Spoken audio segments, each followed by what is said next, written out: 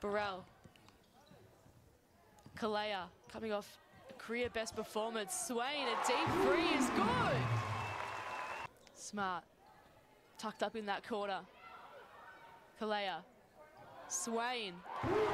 Yes! Shanice Swain lighting it up from three-point range for the Caps. And they'll be looking to try and claim a scalp on the eve of the season. Finishing. Swain. She's been lighting it up from three-point range, and there's another one. Yeah, just coming up out of the corner, force her away from that dribble handoff action or even just that pass, but got to respect her a little bit more. And even that one, we've got to respect a little bit more. Second chance points are going to hurt you if you're the UC Caps. They've got to get one and done on the O glass. Boxing out early is paramount.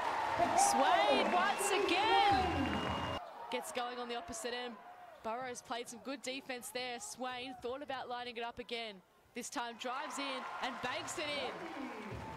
And then nice two turnaround fadeaways from Alex. Smart. Double team, so had to give it out to Swain, who's been lining it up all night from three-point range, her sixth of the night. Themselves in a 1-2-2 press and force Perth Lynx into an open shot, but probably a rough shot. Ooh, as we see some dancing. Swain just gets a defender out of the way. Plays in the South League. Melbourne getting it to Swain for three, number eight. She says, Stelly, I'm coming for you. The offensive of the UC Caps.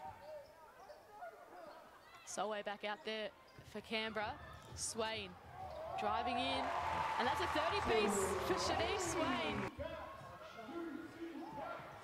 Another long-range pass to the opposite end of the court. Swain pops up her 33rd point of the game.